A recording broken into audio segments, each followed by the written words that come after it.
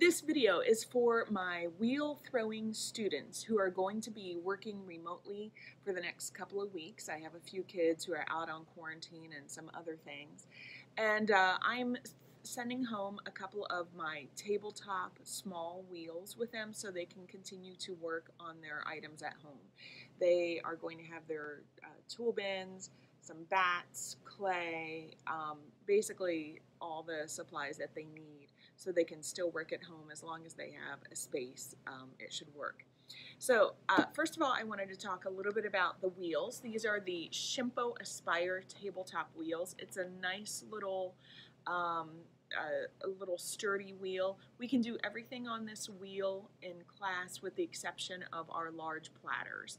Uh, we can't do the large platters because the motor unit gets in the way and we, we can't exceed like a regular dinner plate size width. Um, they have a little splash pan and the splash pan has some tabs on it. So students, when you look at these, you will see a corresponding little um, holders for those tabs. You uh, put them on and then turn it counterclockwise and that will lock it in place.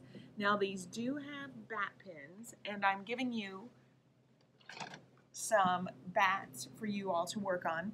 Um, there are also some plastic bats, but I do like these wooden bats. I think they're quite nice. Um, you can see that they have uh, plastic surrounding the bat pin holes there. Now when you put them on, you will really have to take some time to make sure that you're getting it lined up so it goes right on the hole. Now, when you do this, also you will find that sometimes you have it on the hole, but maybe it's wobbly. That means that you have to be a little bit more aggressive.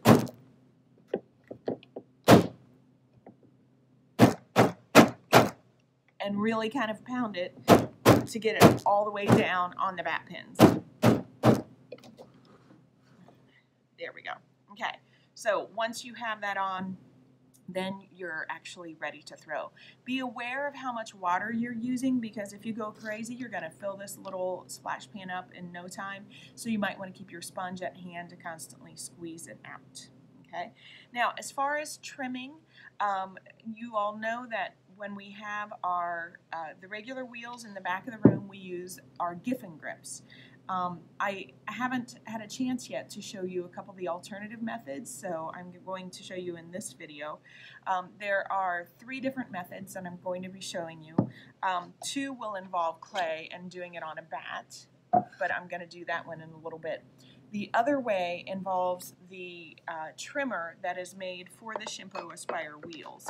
Now, the trimmer okay, has a couple of splash pans, and you will see these lines on here. I actually put the lines on them uh, with a marker myself.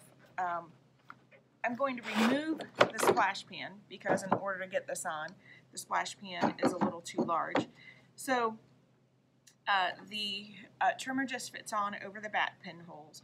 And the reason that I put the lines on there was to help me uh, get the items a little bit uh, more easily centered. If you are trying to center something and you don't have reference marks, it's a little bit harder for a beginner. Now, this trimmer is going to be really handy for things that are low and wide. It's not going to be as handy for something that is tall, but this is what I have on hand to demonstrate how to trim, so uh, I will be using this. Now, I can use the reference lines to, by eye, I'm looking at it and trying to get this to look like it's uh, fairly centered. And then I'm going to loosen up all of the attachments and slide them in until it looks like it is centered. Okay, and then once it's centered, you will turn it on slowly to make sure that it actually still is centered. Um, these wheels have a power switch on one side, and you can orient this in different directions. Um, I'm just orienting it like this, so the uh, power button is near me, um, because I can then use this as a, little stabilizing shelf for my uh, my right elbow. Um, of course, you could orient it differently if you would like to. So the power button is on, you know it's on when it is illuminated, okay? And I'm going to turn it on slowly, first of all, just to make sure that it looks like it's sort of in, in the center. Now, as I turn that on, I can see it's just a tad bit off in one direction, so I'm gonna slide this over just a smidge. All right, students, now that this looks like it's centered, you will go ahead and trim in the same manner that you normally would. But you have to be aware, there's nothing holding this down. This is only holding it from the side. So if you put any sideways pressure on the top, um, you can throw it off. So one of the key things is always hold your left hand on it. Oh, and by the way, um, I don't think it really affects my two kids that are at home uh, this week, but these only go with the right-handed rotation. So if you're a left-hander, you're going to have to trim uh, right-handed. So I'm going to lock together my hands. So if you kind of form uh, a nice stable point, remember that you always want that stable triangle. Your elbows are two stable points of the triangle and your hands are the other. So your hands are locked together. And then my other trick is I'm holding the tool with my right hand, but I'm also stabilizing it with my left. So my hands are locked back here, and the, I'm holding the tool physically with the right hand, but also touching it and stabilizing it with the left. And then I'm going to take the fingers of my left hand, I'm going to stabilize it on the bottom. Now I'm going to use the upper part here so I can hold my tool in a way to show you. So as you trim, remember that you are holding down from the top. Now, another little trick that um, I can give you. So uh, remember I trim the exterior of the foot first. So you're doing the exterior of the foot where that angle change happens on the inside of the pot. The exterior first. Now, there is a little trick that I can show you, and that is you can use something on the top to help hold this.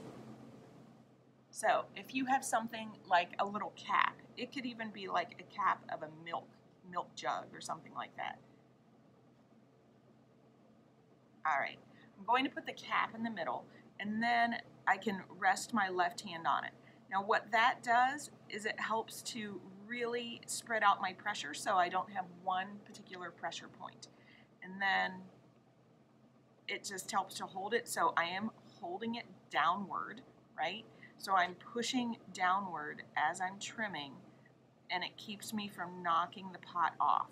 Without that downward pressure and you're throwing or you're trimming a tall form like this, the chances are greater that you could inadvertently knock your piece off. All right, so once you have trimmed the exterior, then you can use your ribs. Now remember you have the ribs that I made, which are out of the card. You could, you could use those, but I also did put a Mud Tools rib in your bin, student, so you could use that as well. But this also works real nicely. Now for the interior of that foot ring, I'm just taking off the, I had some chunky things there on the top.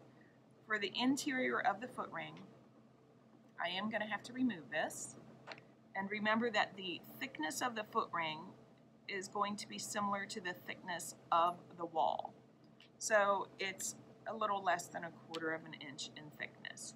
So I'm going to go straight down. Again, if you have gone straight down with the outside of the foot, when you do the inside of the foot, that should work as well. All right, so students, uh, who are at home this week each have a couple, uh, each have one of these trimmers. Now, I only have two of the trimmers, so if I end up by getting a third person that goes remote, they won't have one. So the next method of trimming that I want to show is uh, doing it without a trimmer. So, to take this off, you may need to loosen it back up from one side so you can pull the pot out. okay? And students, when you're at home, you can take all of these trimmings, these leather hard trimmings, and you can just spritz them down with water real quick, and you can put them back in your bag so you can eventually recycle that. Okay. Now for the next method, I'm going to reassemble the wheel.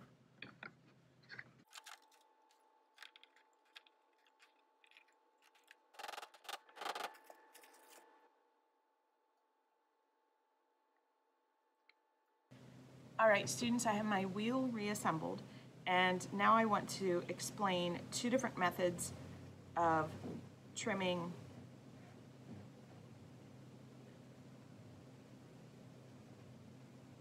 Okay, so tap centering is something that you can do when you place your pot on the uh, bat and you can just tap it until it pro- approximately looks in the center. So I'm really looking at the, the rim down here and I'm trying to tap center the rim. So let me just throw that off a little bit more so you can kind of see. So I'm just gently kind of tapping it until it looks a little bit more centered down there at the base, okay? And then once you have it tap centered, you can use what are referred to as lugs, which are just pieces of clay. Three pieces are usually what I do, so I put them equally spaced. And of course your pot needs to be leather hard. If you're doing this and your pot is plastic, you're gonna squish your rim, which you don't wanna do, okay? So the lugs can hold the, the piece in place just like the little trimmer did, and you can still use the same trick of holding the bottom in place with, say, like a little cap if you don't want to put your hand directly on it. The other method that I want to show you real quickly this is creating a chum. And for this, I'm going to take a wedged ball of clay and I'm going to center it and rib off some of the water. And by the way, when you are throwing on these little masonite bats, you may choose to perhaps add just a little bit of moisture. Sometimes it helps the clay to stick a little bit because the bat is very, very dry. So when I use a chum, a chum goes up inside of a form to help hold it. It's sometimes a little bit more stable. Another method of uh, centering is using a chuck, and a chuck is an open form. And uh, I usually only use a chuck when I have a really narrow opening and a wider bottom, such as maybe a vase, if that needs to be trimmed. Okay, so right now I'm just centering up and doming this piece of clay.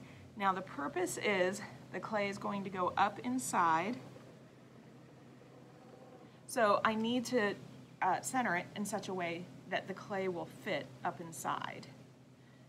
So let's just do a comparison and you can see that's pretty much gonna fit up inside a little bit and then I'm going to rib off any water at all. You want to rib the water off. If you don't rib the water off, it's going to get stuck on your rim and you don't want that. Okay, so here's a little trick that I sometimes do. I'm just gonna make a couple of reference lines. The reference lines just help me to center this.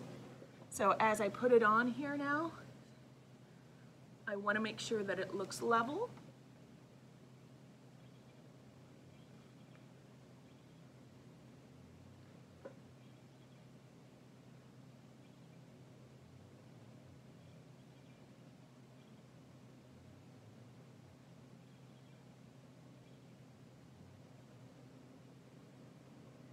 All right, that is not bad. And I could use the exact same trick, you know, of using the little cap. Now, students, one other thing that I want to uh, tell you about, since you are working on uh, matching cup set, one thing that I want to make sure that you're aware of is when you are trimming uh, your matching cup set, you want to make sure that you're trimming your uh, profile so your feet are the same width. So you can uh, set it on there, make a corresponding mark, and then you can trim.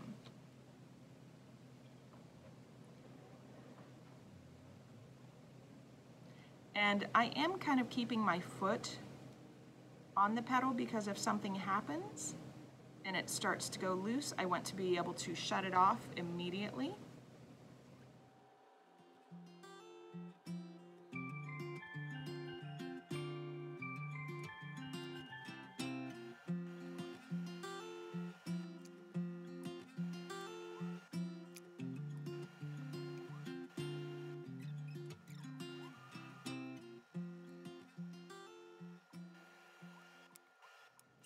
All right, when done trimming, you just kind of ease it off a little bit and then just take your finger around on the inside to make sure that it is smooth. And that is three different ways that you can trim using one of these tabletop uh, trimmers. If you want to see how to do a chuck, I do have another video on that. And uh, students, good luck.